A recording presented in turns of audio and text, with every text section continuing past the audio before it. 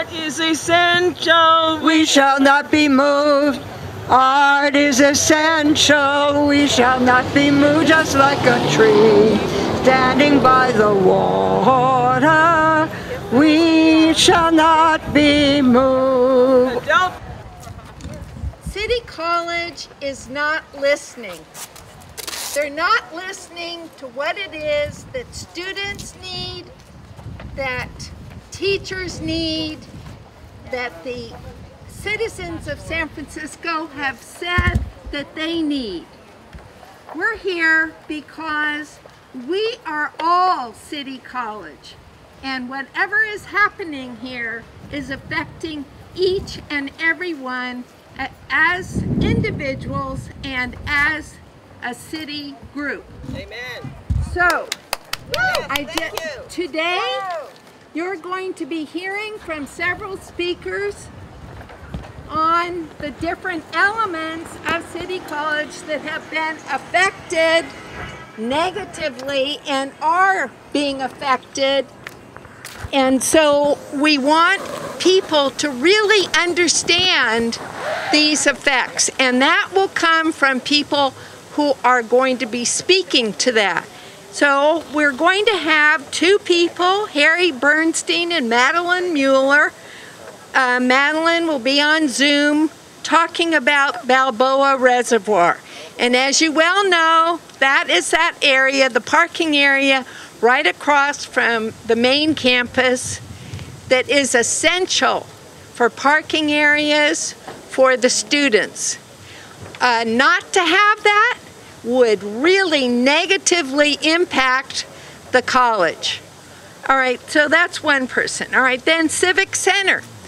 The ESL students, the ones who are struggling right now to learn English so that they can get jobs and survive in San Francisco, that is going that is under attack and they're thinking about closing that center.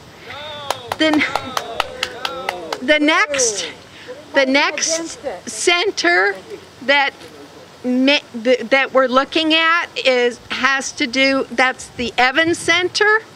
And the Evans Center it has classes that um, support the trades. We that uh, we definitely need more classes there, and there are fewer now than there were before. So we see that there are cuts affecting Evans. So that's another um, group. Then we have the Affirmative Action Task Force.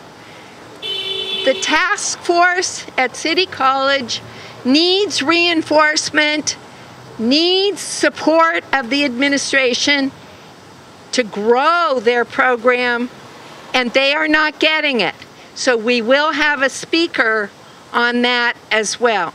You need to see, we all need to understand and appreciate how these individual cuts are affecting all of us as a whole.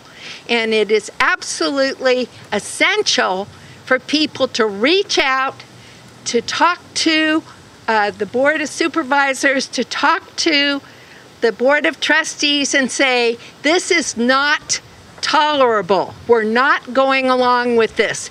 They are supposed to be our representatives, and we're not going to sit back and allow them to chip away, chip away, chip away until we have nothing. So at the end of the program, I will we have handouts with all the information, contact information for you to use so that you can contact people and say, no, this is just not right with what's going on. okay. Fort Mason, for those people who don't know, aren't familiar with it, houses a couple of programs. 80% of the classes at Fort Mason were art classes. And I'm saying were because as I speak, teachers are moving out of their classrooms. All right. 80%. Now, the idea was that they were going to move the classes, move the program someplace else. at another center or centers. There is no way that they're going to move what we know as the biggest kiln in the Bay Area. We have it right here. That kiln was built inside the area. They didn't bring it in from the outside, they built it in.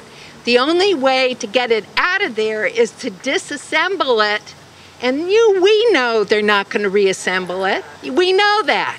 So that's not really true that they're going to move the program, the sculpture program, someplace else. It's just not happening. Um, there's, for those of you who know a, a little bit about sculpture, there's a process called rakuing. Rakuing is can be very unsafe unless it's someplace near water or near as far away from other buildings. That's why we can have rakuing here, and you can't have it in Chinatown at that center, nor can you have it in the mission. It's not going to work. It won't be safe. So there goes the rakuing. So when they say we're going to move your program elsewhere, no, it's not going to happen. All right, upstairs on the second floor, there are six printing presses, some of which were purchased from the proceeds of art shows that take place at Fort Mason once a year, the holiday show. They made, for, um, City College collects 15% of the sales, of the student sales, and they purchased a couple of presses uh, with that money. All right, there are six presses, each one of which weighs approximately 1,500 pounds. Now, don't tell me they're going to move six presses someplace else and set it up. It's not going to happen. So, all I'm saying to you right now is be aware when you hear from from a board of you know somebody on the board of trustees that don't worry we're moving the program all right now are they maybe moving some of the drawing classes? Yes. Can they move a watercolor class? Yes. Can they move a sculpture class? No. How about a printing class? No. All right um, we have a wonderful art school here. We need to stay here. We can help so many people. Right. Right. Okay, the, uh, um, we have also housed here three classes, OLAD classes, Older Adults Program. Um, it was made very clear by administration that OLAD is not a priority. So you have seniors here that have that love the classes, that are devoted to the classes, who show up all the time. So you've got the enrollment, and uh, to just say that this is not a priority when we know that the numbers of seniors in California, according to the governor, are going up and there'll be eight point now, I'll just say eight million more seniors uh, by 2030. That's not that far away. What, and the governor, Governor Newsom, wants California to be a leader in the area of treating seniors respectfully. It is not respectful to disseminate their program, to tell them that they're not a priority. That's not respectful. I don't think that's what the governor wants. I don't think that's what we want. So that's the other thing. All right. So we're trying very hard to protect OLAD, but right now, 90% of that OLAD program has been cut. 90%. Now, we've all experienced cuts to our different programs, not 90%. So you know for a fact, just from that, we're not wanted. OLAD is not wanted as part of the program. So people, I think, will be speaking to that later. So uh, with that, I want to thank you very much for being here. We are City College. Should we have a song? No, not, not, not a song right now. All right. Um, I'm going to move on right now to our next speaker who will give you a little bit more information and that will be, well, we'll start with Peter Warfield. I'm Peter Warfield with a group called I'm a former student uh, at Fort Mason in the older adult program.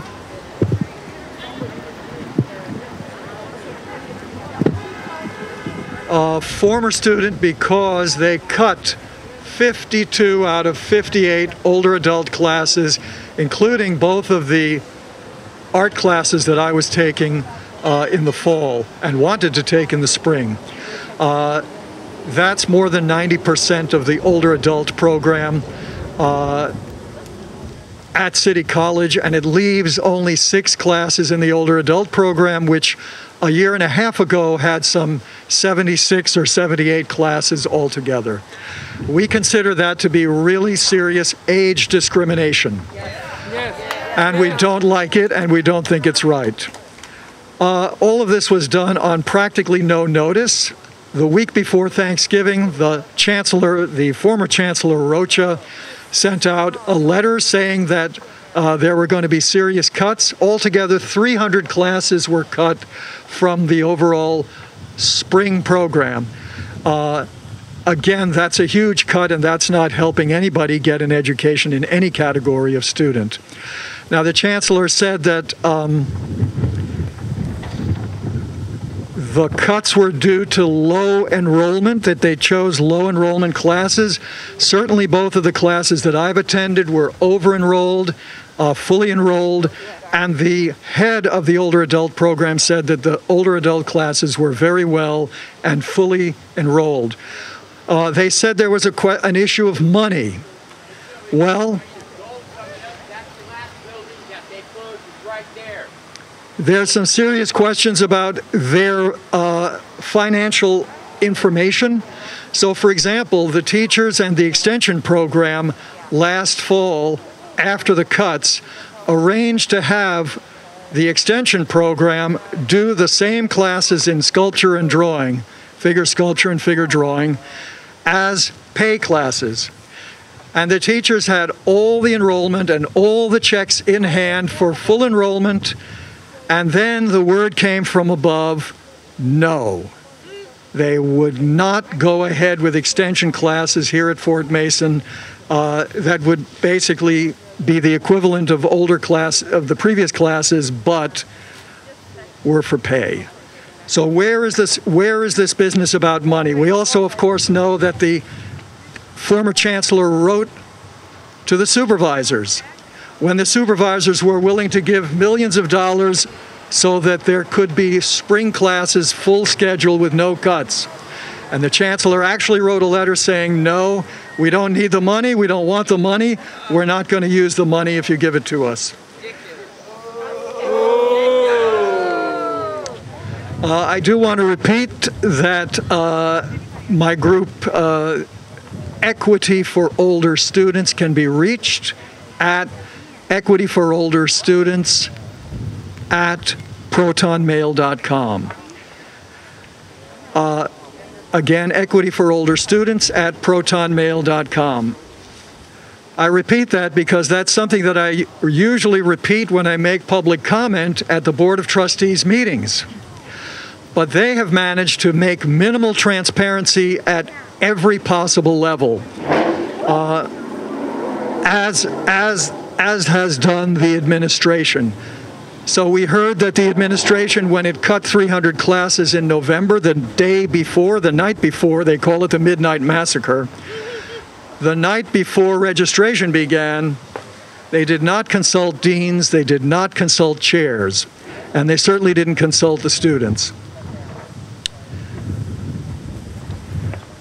At the Board of Trustees, there is a whole process of disenfranchisement of the public.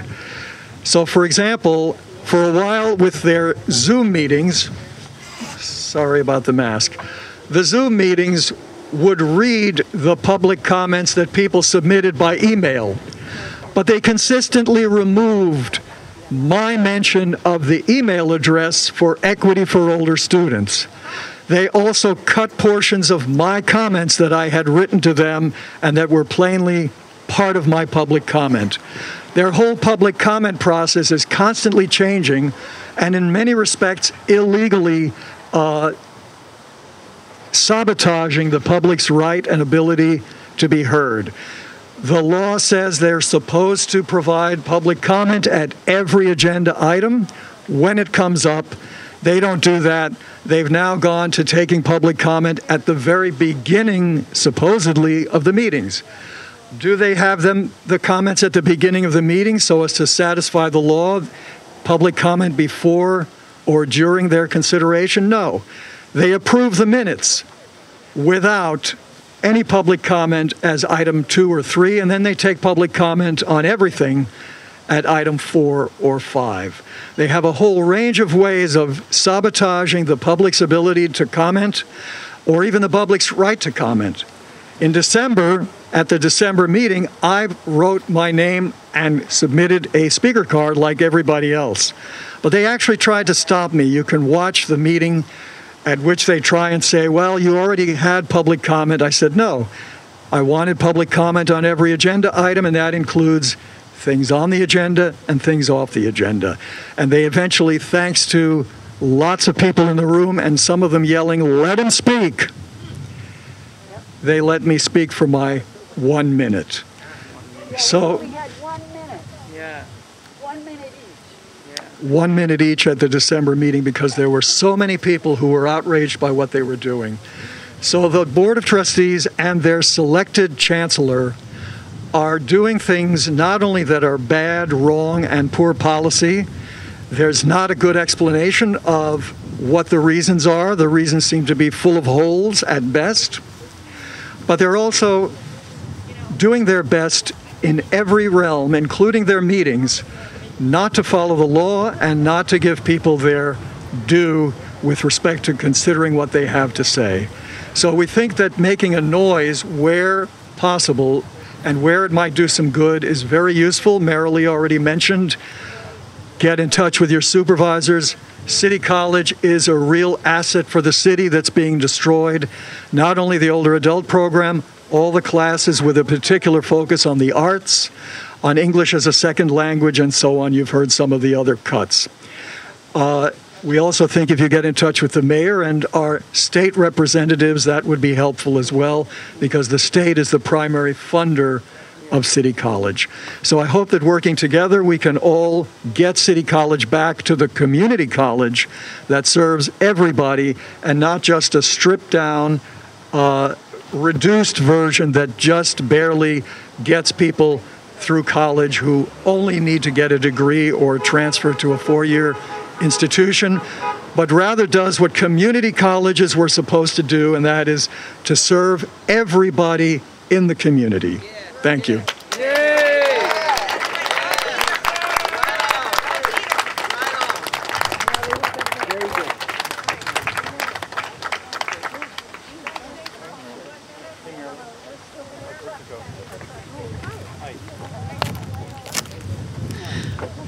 Hello, I'm Jean Cherie. I'm part of uh, Tebby's older adult life modeling class, and uh, just packing it and just crying. And um, this is really sad. And uh, it is a time when we really need art. All of you should be home making art.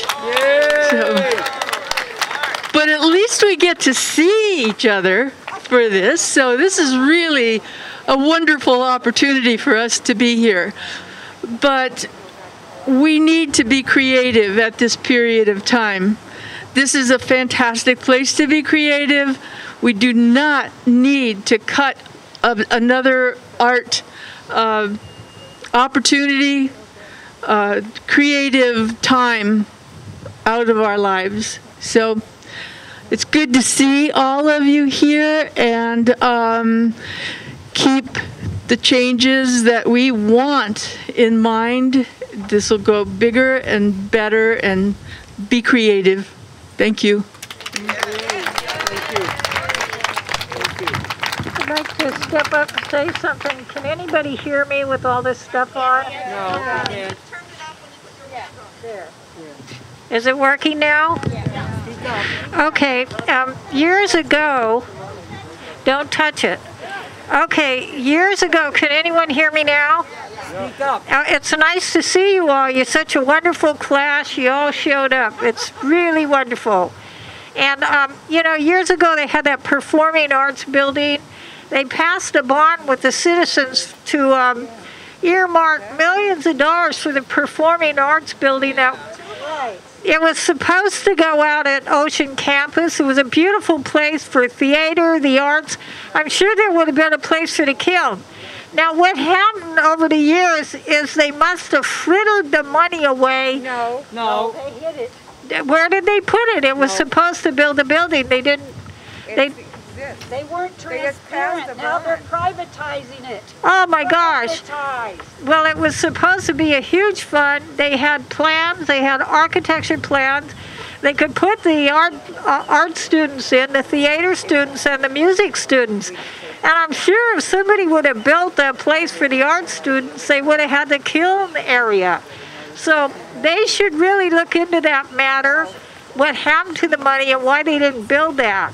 So I want to bring that up. Thank you. Thank you very much. Introduce yourself, Les. Where they were supposed to Hi, I'm Leslie Smith, and I work for City College for Close to the mic, but don't touch the mic. Not touching the mic. Okay, can you hear me now? Great. Okay. So my name is Leslie Smith. I worked for City College for 30 years and fought for good public policy. So I'm here today to read the resolution that we need all of you to call the or email the City College Board of Trustees asking them to rescind their action of 12, 12 o'clock in the morning um, last month closing the Fort Mason campus.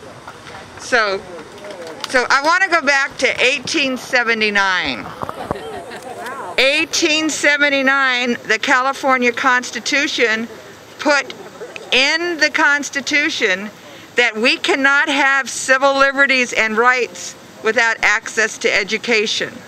So we have to stand here and fight to keep the doors open for everyone in San Francisco, not just the select few.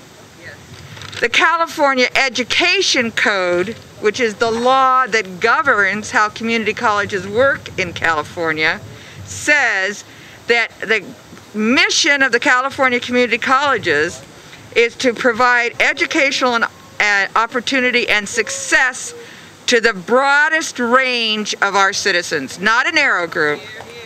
Yeah. It goes on to specifically say opportunity for all qualified Californians, and it specifically says both younger and older students.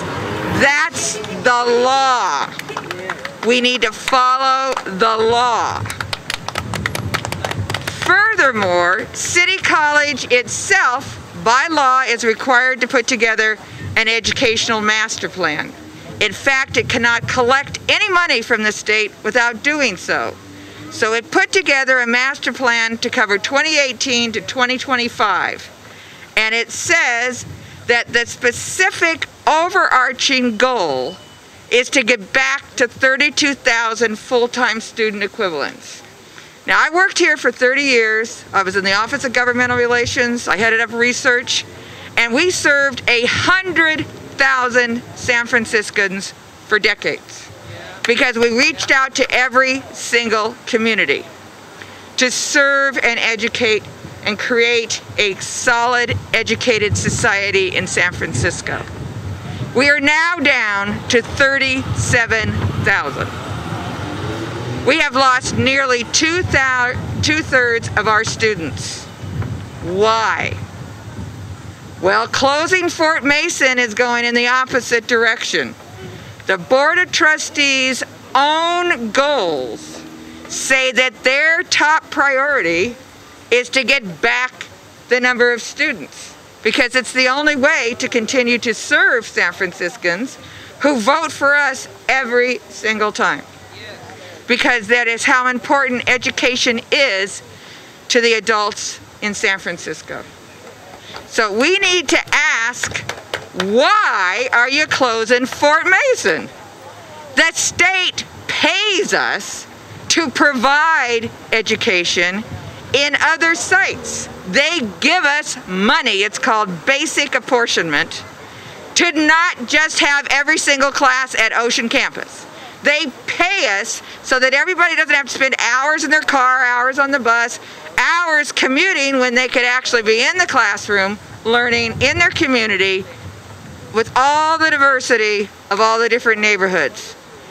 We had more art classes in San Francisco, City College of San Francisco covering every single culture in the world. We had Chinese art history and Chinese American art history.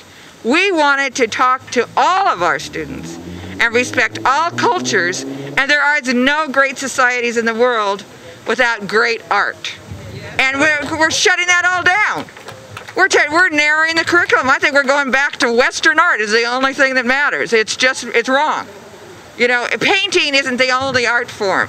What happened to metal sculpture?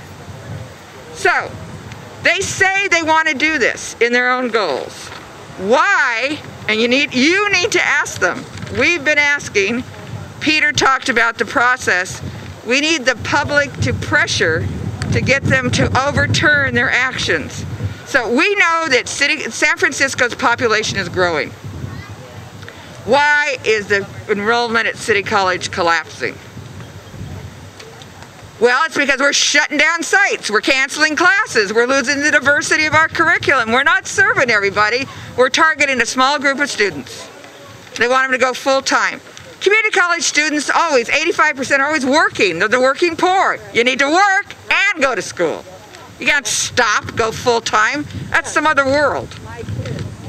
Okay, so we are asking, we talked to the Fort Mason administration. They're willing to work with us. The state is currently giving us $354,000 a year to pay the lease. We're off about $50,000. Fort Mason has agreed to close the gap. Why are we closing Fort Mason? Why? So you need to, so we have a resolution. You need to look at it. You need to look in the social media. And we have a handout that gives you the uh, resolution in writing so you can read it so you're informed when you make the call or put it in the email. And it says to be resolved that the Board of Trustees of City College of San Francisco directs the Chancellor to open negotiations immediately to extend the lease. Yes. Stop the move out. Stop the move out. The second thing is then you need to get into a long-term lease because if you get into a 10-year lease, then you have bond dollars to do the earthquake retrofit. You can take it Fort Mason and you can commit to it. The state has paid us for Fort Mason the entire time we've been here for 45 years. It's time that we serve the students, stop the shutdown, open the doors. We all need education. Thank you. Hello, I hope some of you know who I am, but if not, I'm Conrad Dutton. I teach and am a student at Fort Mason. I just wrapped up my packing. Um, they initially gave me 15 minutes to pack up, but then eventually decided I could use a little more time to pack up my stuff. I've t- taught for 10 years or more and have been taking classes for even longer. The the amazing thing is, you know, is that this has been here for so long and it, has run on its own and there's been money coming in from left and right as you've heard before and this covert operation that's happening now is a long history of trying to do what shouldn't be done, which is shutting down Fort Mason. We had this three years ago, if you'd remember. Um, with the same flimsy ideas. Now, of course, they have the pandemic and other crazy stuff going on that takes attention away from what's happening here, and they are truly taking advantage of everything else that's going on to really stick a knife to us and and call this place a day. I I hope um, that they recognize that they are not serving the community anymore, that the people that are paying their wages um, in the administrative body are the people that they are disenfranchising. They are the people that have reared them as infants and are now seniors and older adults that deserve a community of their own to uh, uh, to extend their lifelong learning in an environment that is dignified and and beautiful instead of being somehow warehoused off in a corner somewhere in some campus that is willing to take up whatever they can which of course in this case means none of the stuff we have here will go. The big kilns for the figurative sculpture the spaces that we have for the painting and the work we do doesn't exist anywhere else that I am aware of. And of course, for many, that will mean they'll mo- they'll have to commute across the entire city. So, uh, so much disrespect and so much disregard and so much covert operation all in one is hard to believe. And we just have been, you know, we've been paying their wages. We have been enabling the school to exist through our own taxes and the initiatives that we have all said yes to. I do not understand why they're saying no to those that have so long supported them. Um, I, it's really, um, it's hard to say all this without getting uh, enraged and upset. Um, it's, it's, uh, I, I hope we can continue our path one way or another, we will continue fighting and, and make something happen. Um, I hope I hope you're all here for whatever's going to be happening next because it's not going to stop at this point. Okay. All right. My name is Art Persico. I'm a reti- retired Teamster and uh, current convener of the SF Grey Panthers. Can you all hear me? Yeah. Um, I've taken classes right here in silk screening, and I've taken other classes at City College of San Francisco in labor studies. Fred, Fred Glass, great teacher. Hope they can bring him back. We should be demanding things from, you know, power doesn't yield without a demand. Uh, I'm in the Grey Panthers, and we uh, we specialize in outrage, and there's a lot to be outraged about right now. Good. Uh, we're Grey Panthers are particular fans of the Universal Declaration of Human Rights. And this week is the 75th anniversary of the founding of the United Nations in San Francisco. 1945. It happened right here. So we have a special place in uh, UN history, and the Universal Declaration of, of, Human Rights is something that Grey Panthers really uh, pay attention to and would like to see implemented and it's relevant to City College. There are several clauses in the Universal Declaration of Human Rights that relate to City College and its role in educating and culture for the wider community. Article 27 says, everyone has the right to freely participate.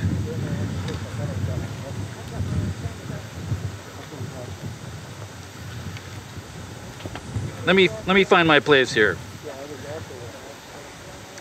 Let's start with Article 19 in chronological order.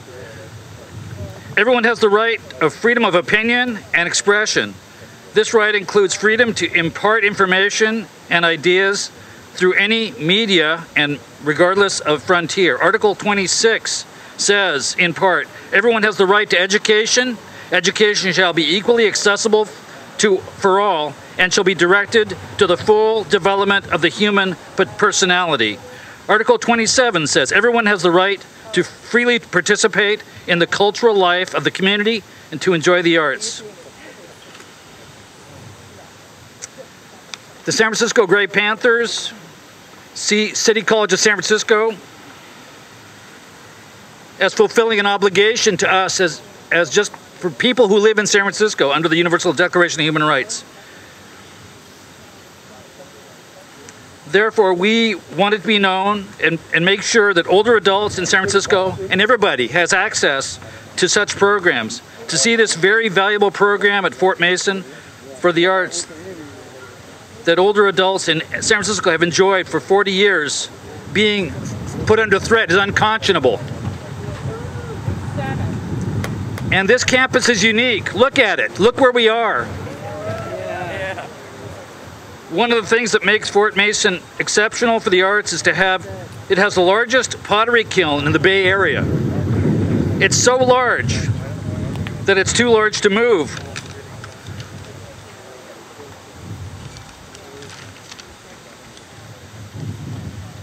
It sends out a lot of heat, and at Fort Mason, it's near the bay so that it's safe. You can only have raku, which is Japanese pottery making at high heat, in a safe place. You could never do it in Chinatown or in the mission because the buildings are too close together and the risk of fire would be too great.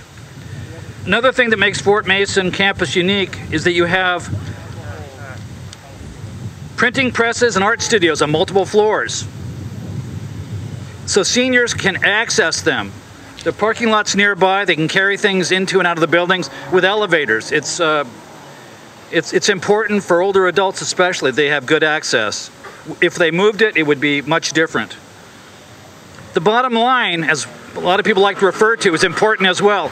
And this has been explained in earlier that the uh, older adults have access to fewer classes and it'll pr prove that we're not a priority if they move this, these classes from Fort Mason. The administration at City College will lose money by doing this. They will lose the money from the state of California, but they're not moving the classes for older adults by getting out of Fort Mason. They're eliminating them.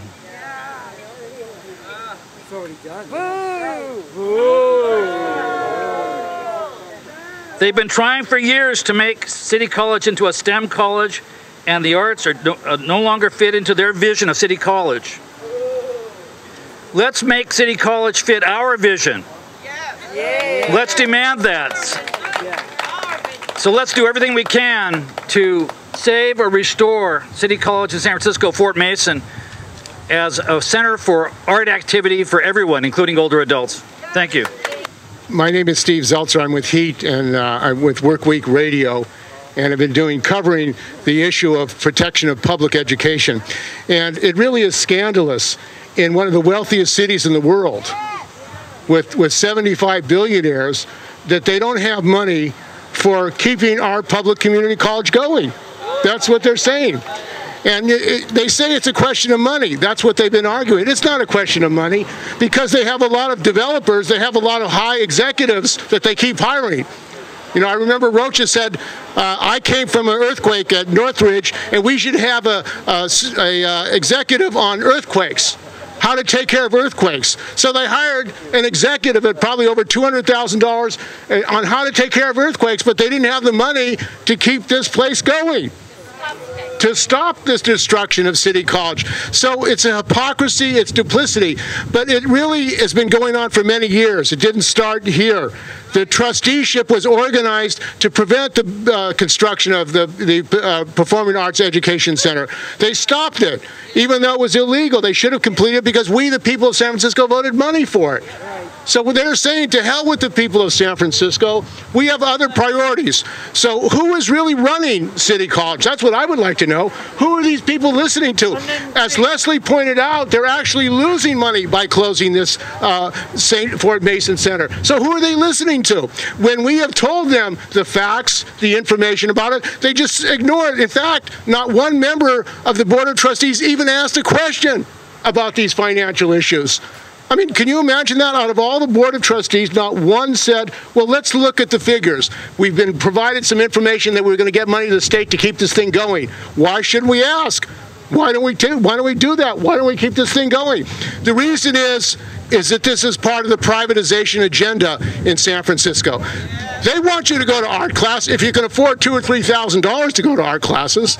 That's what they're saying. The art, the private privatization of public education is what this is about. They're selling off the campuses to developers.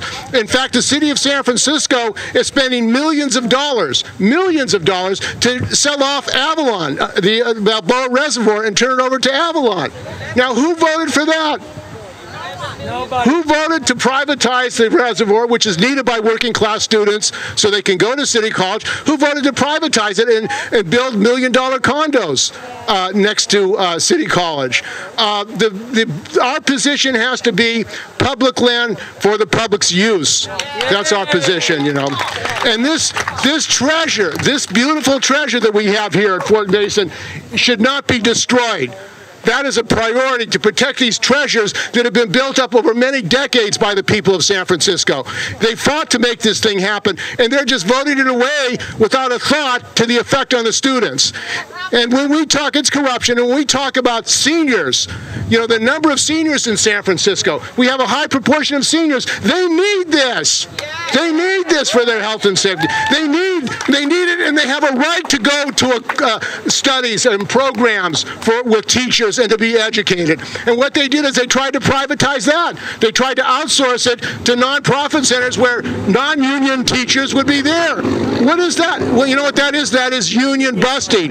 We have a faculty here that is educated, that is trained, that is certified. They spent their lives developing their skills, and they're going to outsource it to nonprofits?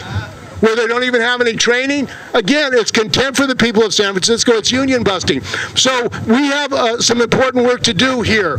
We have to educate the public that this is fraudulent. What they're what they're using as an excuse is a lie. We have to say that. It's a lie. You're lying. You're not telling the truth to the public. We have to demand that this privatization stop. The Planning Commission is packed with developers and people who represent the developers.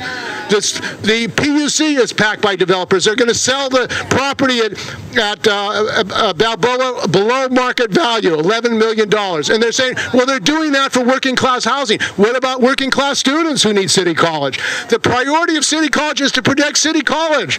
The priority of public land is to protect the public, not developers who have an agenda to profit profiteer off of privatization of public land, because that's precisely what's going on. So we have to call on the Board of Supervisors to reject the Planning Commission recommendation of the sale of this. We have to get candidates who are going to support the public, who are going to support Fort Mason, and demand that we have a right to a great public education, and we can afford it in San Francisco. Are, and the state of California including our elected officials, have voted to change the laws for community colleges to punish working class students that can't afford to finish college in two years.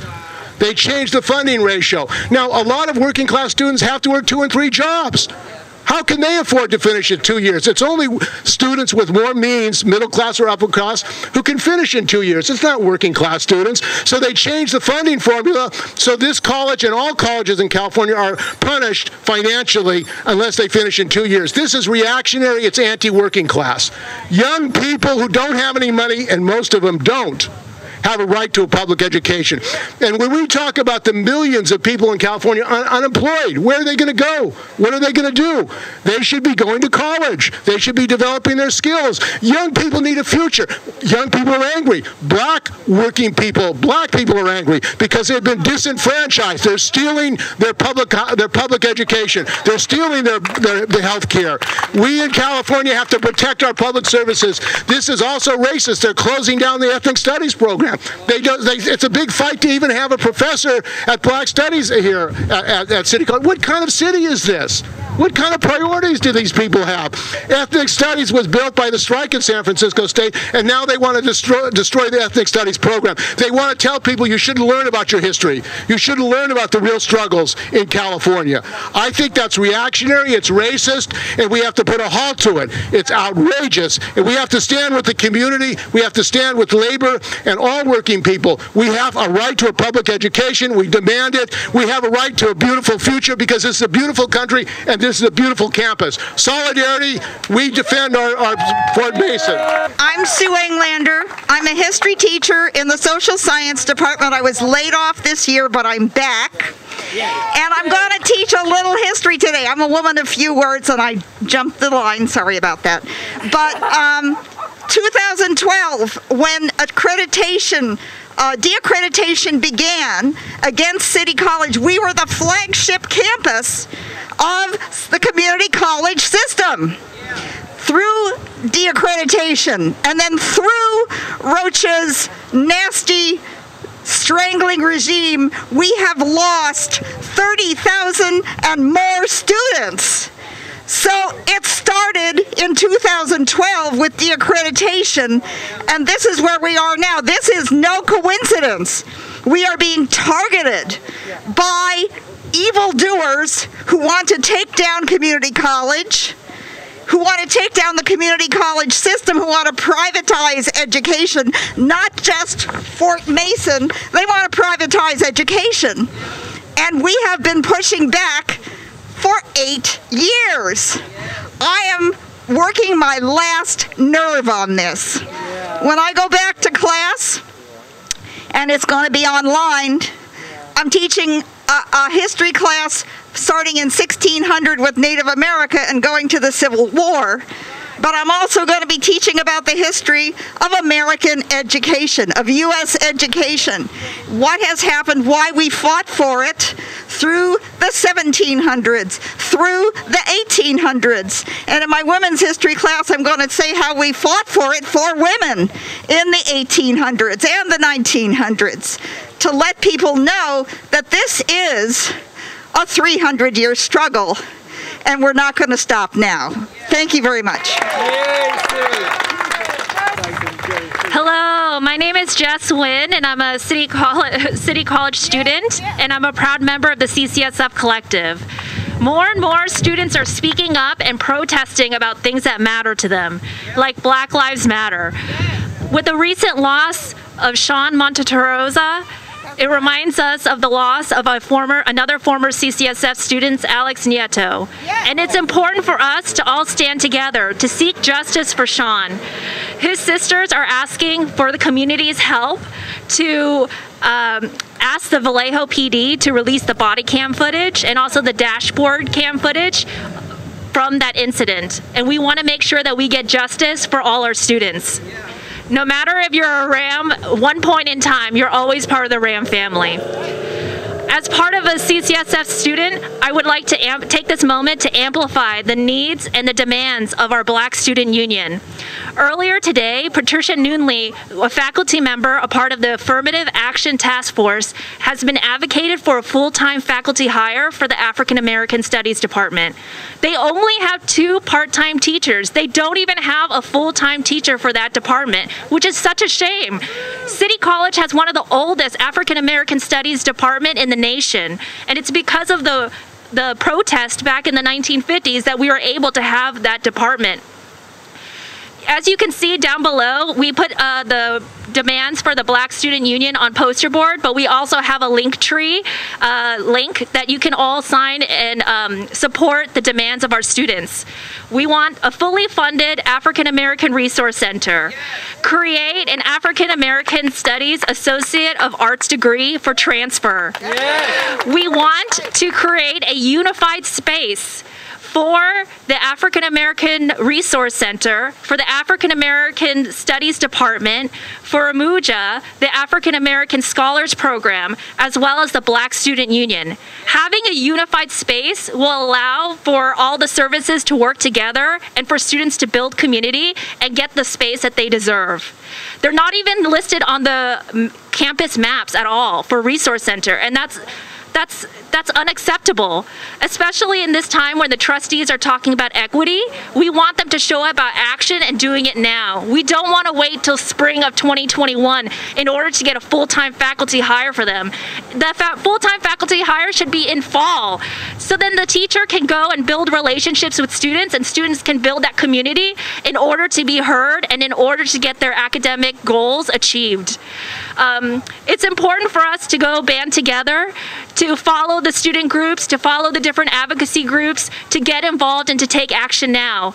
As a student, I am appointed as the facilities representative, and I'm only one of two students in a group of a lot of admin, faculty, and classified staff. And we need your help to amplify the needs of our students and to ask for the accountability from our trustees who promise us the world but has not delivered us anything.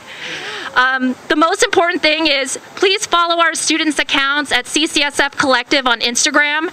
Get involved. We're trying to educate the community on what issues are happening at City College so that you can make informed decisions in November on who you would like to vote for trustee. Um, I would like to take this moment to introduce the next speaker. Um, he's a great supporter of City College and came to, uh, to support us in the emergency bridge uh, fund ordinance that unfortunately was vetoed by Mayor L- London Breed. But um, I would like to introduce uh, Uncle Damien from uh, Us for Us Bay Area. Thank you so much for coming. Follow at usforus.bay area on Instagram. Um, thank you so much. Uh, first of all, I want to pay homage and respect and thank the organizers of this event and the people for coming out, taking their time to just show that they care.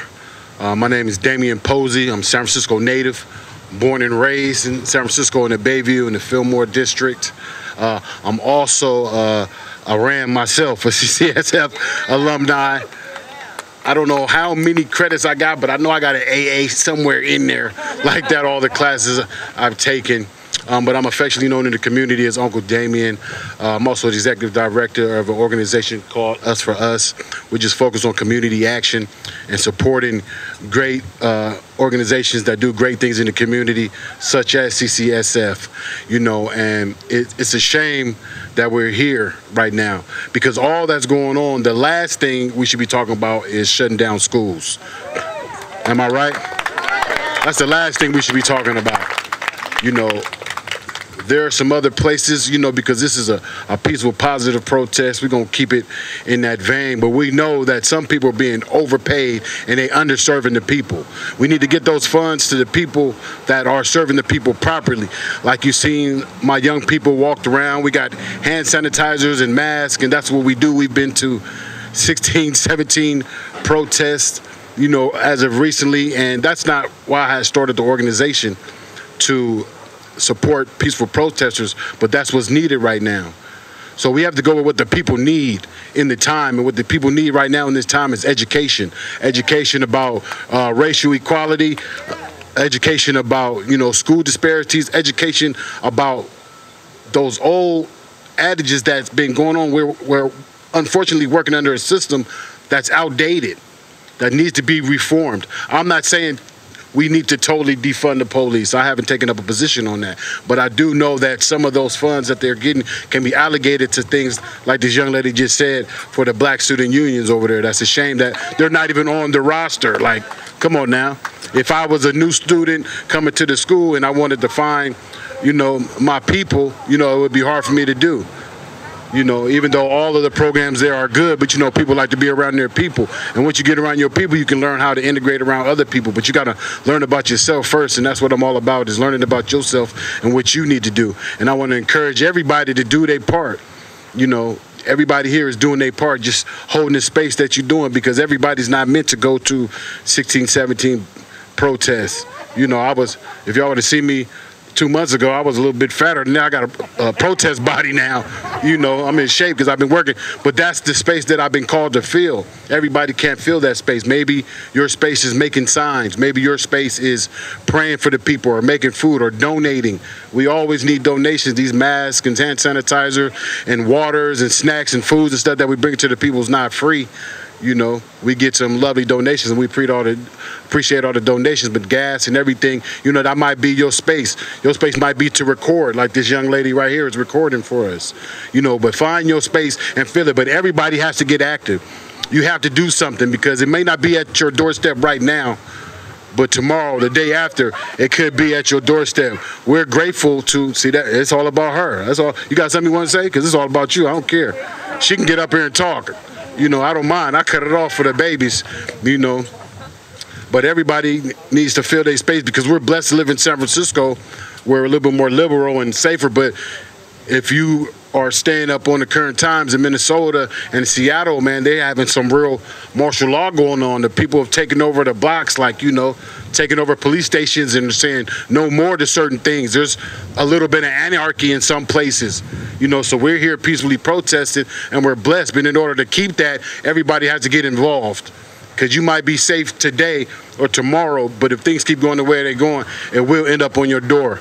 You know, and I'm, I don't want to be dark or down, but I just want to be real and let you understand.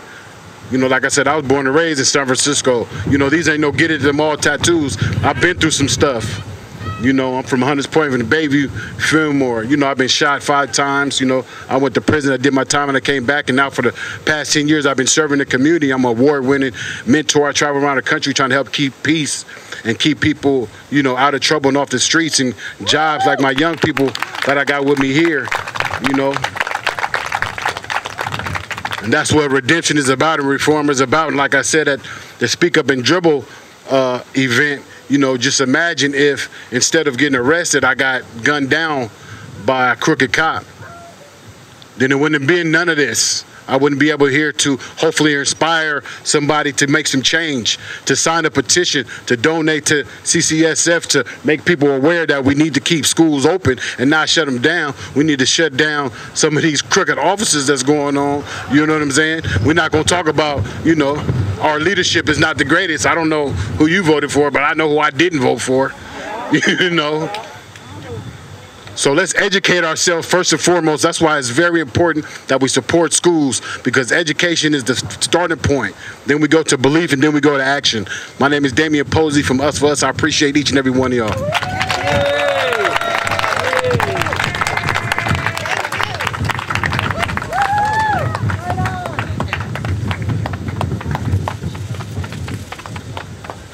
Hello, everybody. Welcome for coming out here today and risking yourselves and your your your life and liberty to be here.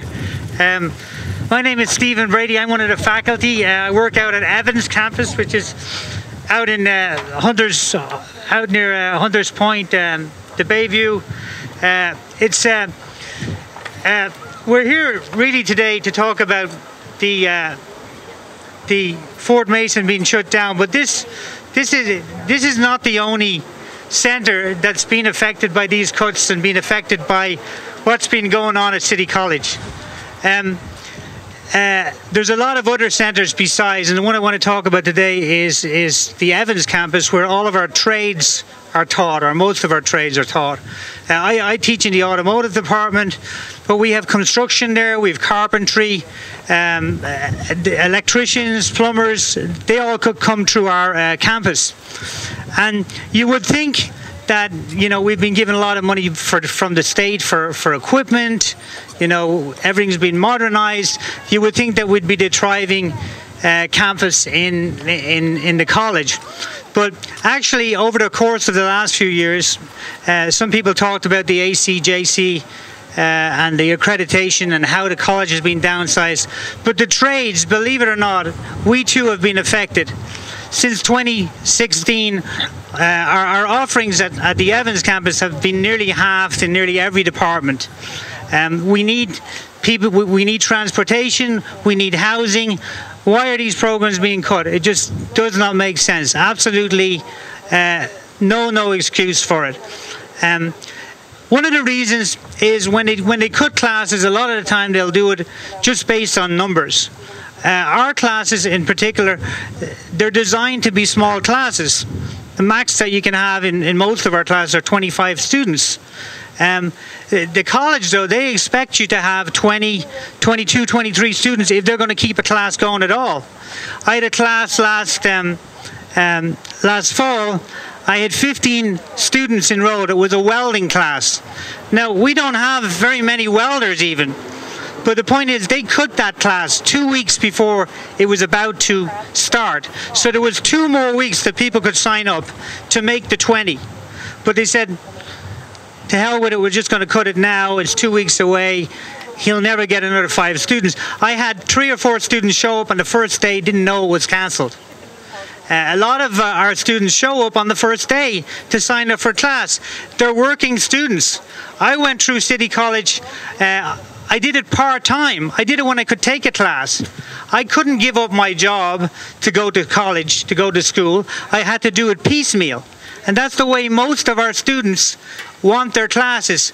They don't want it to be a junior college where they have to give everything up to go to class from 9 to 5. So, so for success stories for people, you know, we need to give them classes all times of the day, weekends, nights, whenever it suits them to come to a class. You know, we've had a lot of uh, talk about Black Lives Matter, and th- the very first way we can repair the, the problems that this country has had, the reparations, the very first step is to give people a decent start. Give our minorities a good start to their lives, a good education. Uh, so, with that, I, I, don't want you guys to come away from here today feeling all gloomy and down. There's a lot of good things happening. Um, there's a couple of ballot measures that are going forward. There's WRF, which is uh, um, the workforce. Let me let me get get the name right here. Workforce Education Recovery Fund, which is on the ballot in, in November. Um, so uh, uh, Mar, uh, one of the supervisors of Mar, he is he's really working hard to get that pushed through. So we need everyone to get out and really support that. Another one is schools and communities, which is a state ballot. Um, and what that's going to do is that's going to uh, get some some of the property taxes. Uh, the companies get a huge tax break here in California. Whatever they bought their building at, they're only allowed to put that up a very very minuscule amount every year, and as a result of that. They're not paying their fair share of taxes. They reckon there could be maybe as much as 12 to 15 billion dollars that we can get towards education, towards schools and communities that can be reinvested, um, uh, and, and hopefully next year that will pass, and, and we will have that, those funds. They can be used to get our classes back up and running at places like Fort Mason to uh, redouble the classes that we had back um, at the Evans campus. I have colleagues, um, part-time instructors that work every day and then they come to college to pass on their skills at night to teach people. They've all been laid off. They've all been laid off. Many of them depend on their job at City College to give them health care. But the skills that they pass on uh, are invaluable and, and can can help our um, our young people uh, get good good jobs that pay a good living wage here in San Francisco. So uh, anyway, don't give up hope. Keep um, fighting on. Keep writing to your supervisors. Get your supervisors involved. Uh, let them know. We had a lot of success. Uh, Shamann Walton is our supervisor over in in um, over by Evans, and he's been amazing.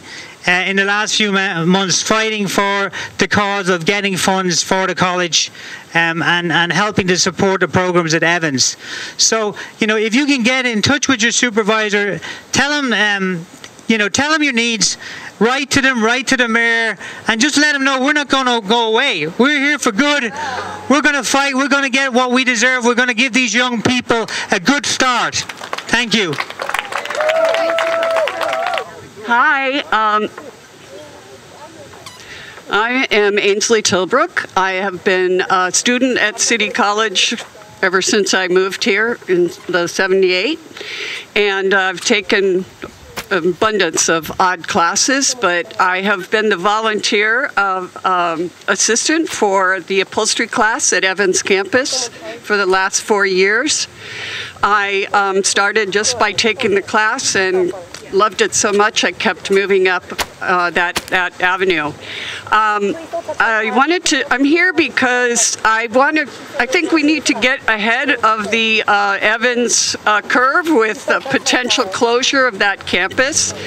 I feel that. Um, not only is education an opportunity for everyone, but the people now, like myself, I was a banquet server for 24 years at the Marriott, and I am not going to have a job. and neither are all my coworkers. I am just, we are just a small drop in the bucket of people who are going to be without work. And we need the school. We need, whether it's to take a class in business to pursue another avenue, whether it's to learn a trade, the trades that have been, been cut, cut um, upholstery, we had four classes. What I brought, just as proof, are four pages, 113 students who were either registered or waitlisted for the upholstery class for spring of this year. 113 for three classes. We could only take 25 per class. Students have been clamoring for years to get into upholstery, and they cut them not because of the numbers. And those students have offered or were willing to pay some fair amount to not have the class cut. And most of those students, including myself, could not afford to take the extension class that they were providing at over $300 for eight classes. So I think this is the Evans campus and the trades and the arts, which are all the, and ESL are all the classes that are being cut. And what, what is, are the target markets for those the arts it appears that it's a very very important part of a senior lifestyle the trades which are a lot of minorities and working class people who if they take the electrical class they can get a raise in pay there's janitors those classes that are being trained to be janitors it's almost 100% minorities they take the class, they can get a job. They take the class, they, they already have, they're already a janitor at the Marriott. They take this class, they get a raise in pay. We are squashing down working class, all minorities, every single one.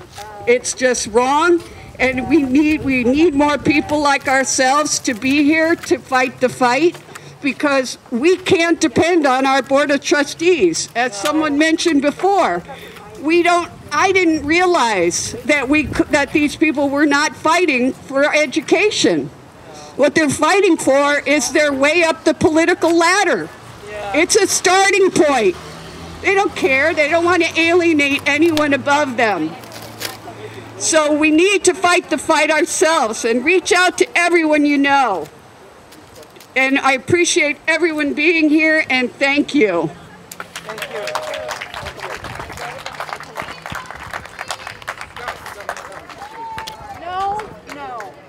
Today, I think it's appalling all of the cuts that have happened in any and all of the classes.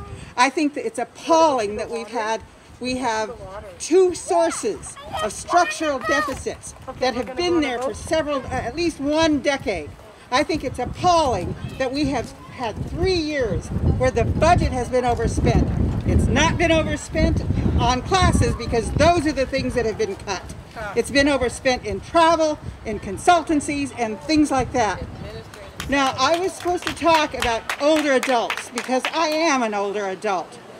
I have to tell you that my mother-in-law, the first time she went to City College was as an elder because she didn't have the time, she didn't have the luxury as a young woman to go to college. That's true of a lot of our elders who are going to our older adult classes. The other thing I want to tell you, as an experienced uh, dean, as an experienced vice chancellor of instruction, and as an experienced vice president of instruction, you keep your classes like ESL because those classes, which tend to be larger classes, the older adults classes, which tend to be uh, larger classes, which don't have a lot of cost to them. With ESL, you need a chalkboard and you need a teacher and you need a classroom and you need the students. I know because I was an ESL teacher. So you keep those classes because those classes earn from the state more than they cost. You use what you earn from those classes to fund the classes that must be smaller, like some of our vocational technical education and some of our art classes that have to be small because of the equipment involved. So I will be one of seven voices on that board. There are four seats that are open. There are two incumbents running and there are a number of us who are not incumbents who are also running. But you have four opportunities to change the board. In two years, you'll have an opportunity to change three more seats. So the voters of San Francisco, and you need to talk to your colleagues and your friends. This is not a time just to choose someone because you've seen an attractive poster or they might be endorsed by this politician or that politician. You, have to have them do the homework and you have to help educate them in terms of what's needed. Now, in terms of my own run, I am not running for any other office. I am only running for the Board of Trustees. So I am not obliged to think about what my vote might mean in my political future. I'm doing that uh, on purpose. And I hope that as we have more and more faculty who retire, there will be other people who will join us on that board so we can change things. The name of this district officially is the San Francisco Community Community College District. We need to keep the community in the college. We need to hire a new permanent chancellor, and the, this board will have that opportunity to do that. I want to be on the board when we hire that chancellor because I want to make sure that we hire a chancellor who is as committed to the vision of City College as all of us here are today. So please, this is an important election for WERF, for the, what, what was the name of the? Communities First. This is an important election. Oh, and by the way, there's a presidential election too. So encourage people to turn out and vote. There are so many changes we need to do. And like others before me, I want to encourage us not to be downhearted. When I was a student at San Francisco State in the 60s, I was one of the ones marching around with my picket sign. Because what happened eh, when I was a student is you could go in the cafeteria and there, you, there would be three tables. All of the African American students would be at one, the Latino students would be at another, the Asian American students would be at another. Very often I was the only student of color in my classes. When I go at San Francisco State today, I look at that wonderful, beautiful, diverse campus. That struggle in the 60s was worth it. Our struggle today is worth it. But we all have to get involved. We have to get our communities involved, and we have to get out there and vote this coming November. Thank you.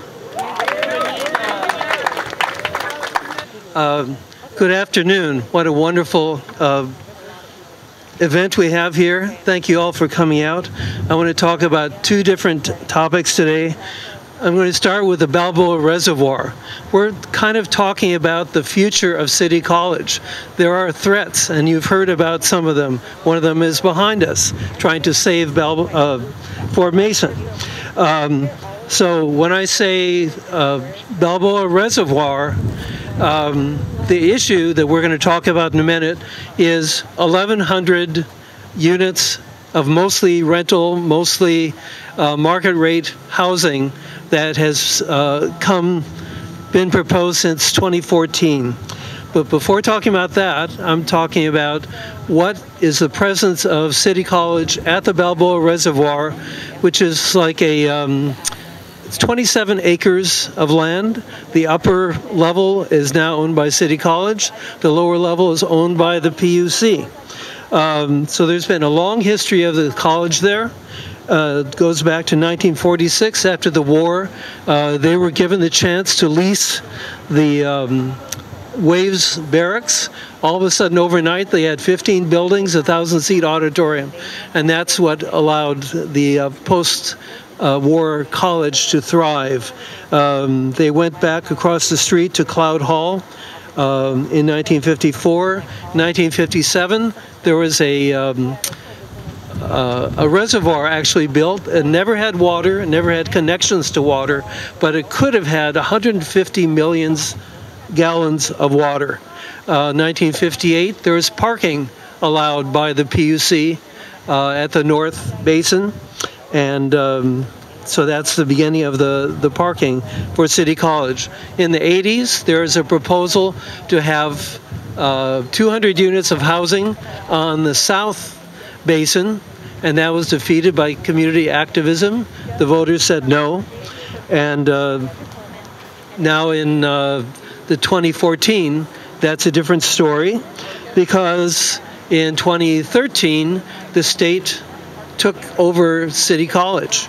Um, but there had been some changes. In 1991, there was a uh, land swap, and that gave City College the upper uh, the upper part of the land, um, and they later built the MUB. Uh, and in 2012, there was another change. Uh, by the way, there's millions of dollars that the college has spent, and they're just about the only ones uh, changing it around. It used to be a north-south division. Now it's east-west. The college is what uh, spent that that money. Um, so now I want to get to talking a little about the uh, the yellow uh, resolution. That's from the DCCA um, to a group to save City College, and the idea is. Um, with the last bond measure in March, um, there's an opportunity authorization for the college to buy land, and that uh, resolution says uh, get the get the um, trustees to ask the PUC for the land, and not just to give it away, but they will pay pay what what is needed. Um, and then there's all kinds of reasons why that should be done. Uh, not only the long history uh, with the college, um, but the need to expand. Also, there has to be parking. Um, and uh, when the private developer uh, has made inroads and they're on a fast track tomorrow, uh, tomorrow they have there's a PUC meeting, a very pivotal one, because that's the one where all the um, everything needs to be done before going to the Board of Supervisors will be passed at that time. And they're also going to declare the land surplus. And uh, that means that all kinds of things like the privatizing special use district and the developer agreement can be accepted.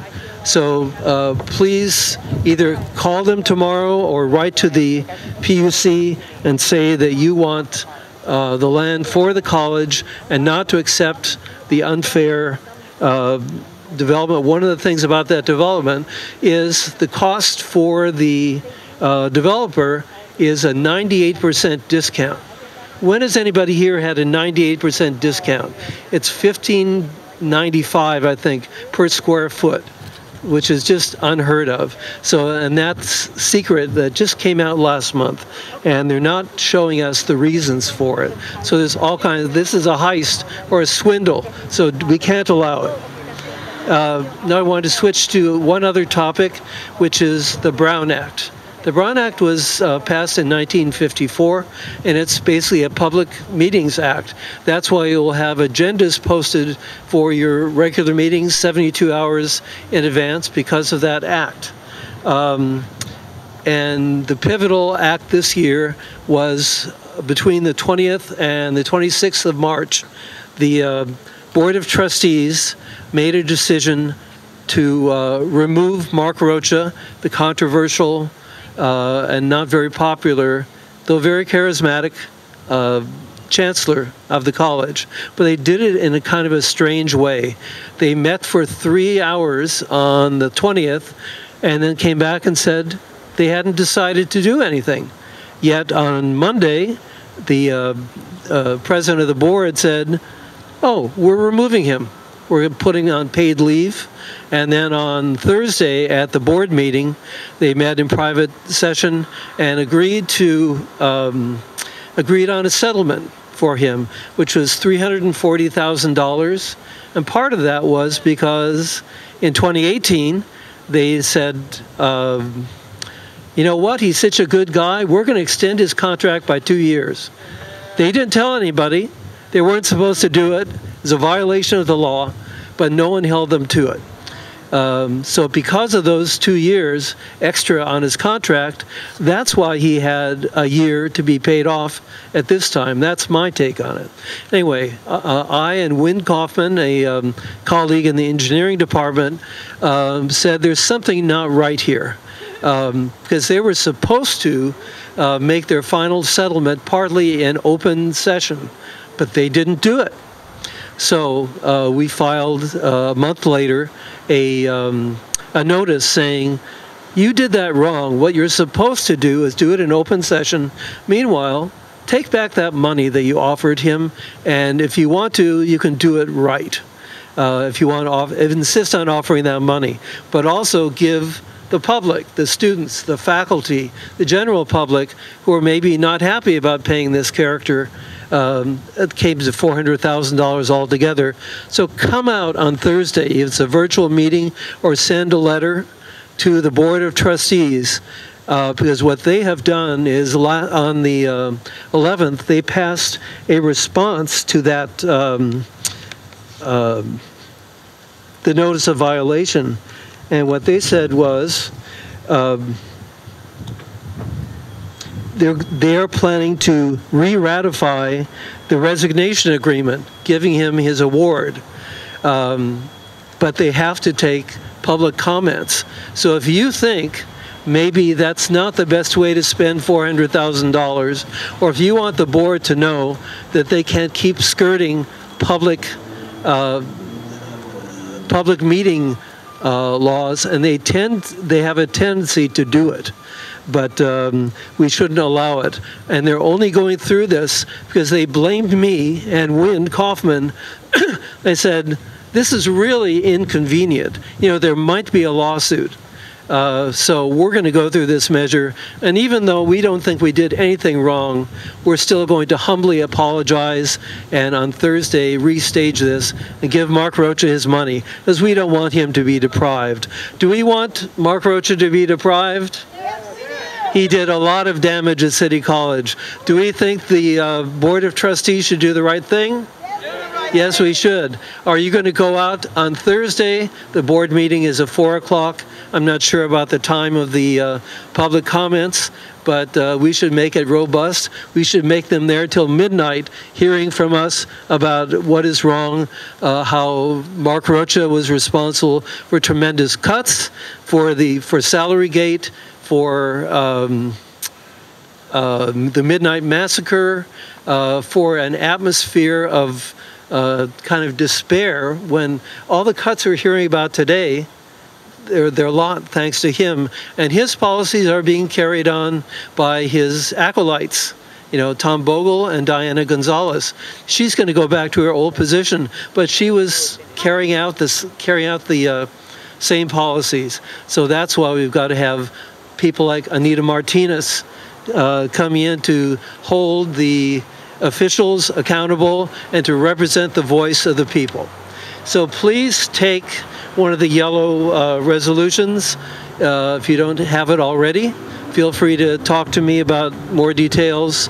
Um, but faculty and students are out there. We've got some great ones here advocating for all of us. So thank you.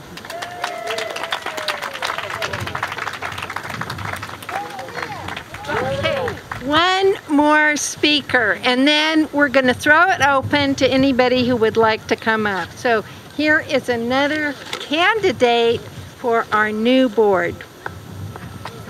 Thank you so much for having me here today. My name is Aliya Chisti, and I am running for City College Board of Trustees. I was born and raised in the city. City College of San Francisco transforms lives. It transformed my family's life. My mom we grew up in poverty. She took ESL classes at night to learn English so that she could better our lives. My brother was a part-time student. He would take classes in the daytime and work a job at nighttime. We are here talking about access today. This is what this is about. This is access. Fort Mason provides access to these spaces that we feel like we're not a part of. I grew up in D11. I can count the number of times I've been to this part of the city. Fort Mason brings other students and other people to this park. I also want to elevate um, some of the demands of the Black Student Union. It is unacceptable that they have to demand a space on campus. That is not what City College is about. City College encompasses all of us and so much more and I, I am so happy to have listened to all of you and learned from all of you and I will continue to do that and I also want to echo Anita Martinez uh, comments. She has been a part of your community for so long.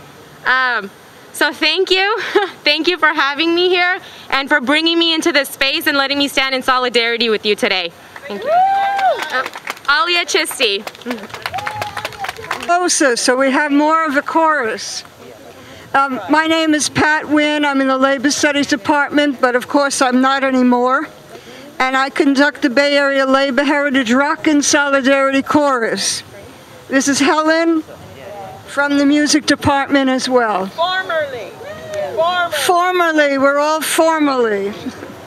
We shall not, we shall not be moved. Shall not. We shall not, we shall not be moved. Just like a tree standing by the water. We shall not be moved. Do that again. Do that again. We shall not, we shall not be moved. We shall not, we shall not be moved just like a tree standing by the water. We shall not be moved. Art is essential. Art is essential. We shall not be moved. Art is essential. We shall not be moved just like a tree standing by the water. We shall not be moved. Art is essential. We shall not be moved. Art is essential. We shall not be moved just like a tree standing by the water. We shall not be moved. Adult learners. Adult Adult. learners are essential. We shall not be moved. Adult learners are essential. We shall not be moved just like a tree standing by the water. We shall not be moved. Thank you.